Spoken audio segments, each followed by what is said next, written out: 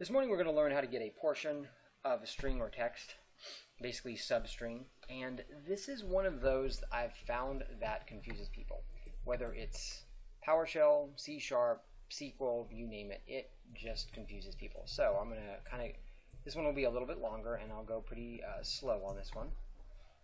Uh, first of all, I need to connect to the right database and we will call a collection uh, string crazy and we have three strings in this collection here as you can see. And some of them this one's a standard the quick brown fox jumped over the lazy dogs. This one's much longer and then we have this last one which is much shorter. Okay? So first of all how do we call the substring? So the way we're going to call substring is we're going to use the aggregate operator and we're going to use project. So we're going to first of all say db.stringcrazy.aggregate and then project here. And so this is the point where I can name my column. This is basically, I'm sorry, my, my field. Columns, such a SQL thing. This is basically where I can name my uh, uh, column, or I'm sorry, field for what the result of this is going to be. Okay, so the product of the substring, this is going to be the name of it. And I could call it strings, but I'm not going to because that would be confusing.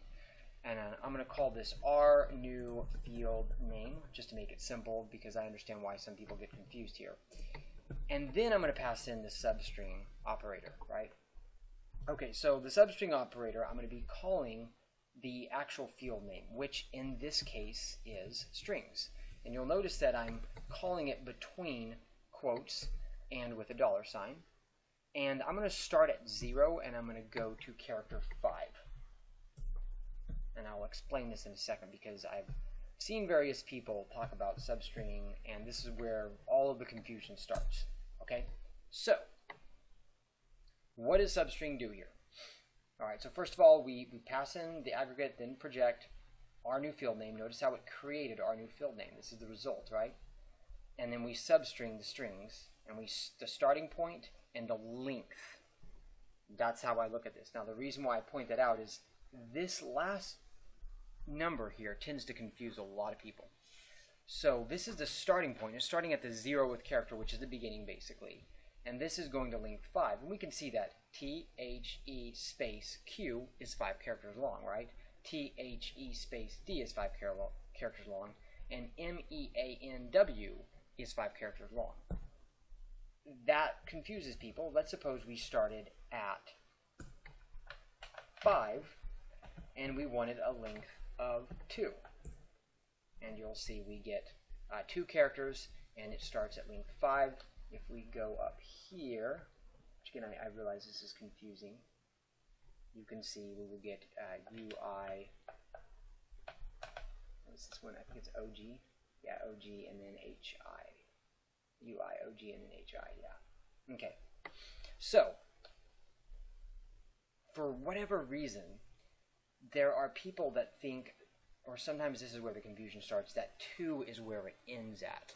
So in other words, um, I've seen this confusion a lot, where someone will start at 5 and they think, oh, okay, so it's going to end at character uh, 10, well, it starts at 5 and it's going to go 10 characters long. It doesn't end at character 10.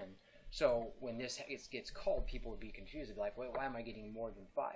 So for instance, if you want to only get 5 characters long, then you would specify the starting point and um, then the length here.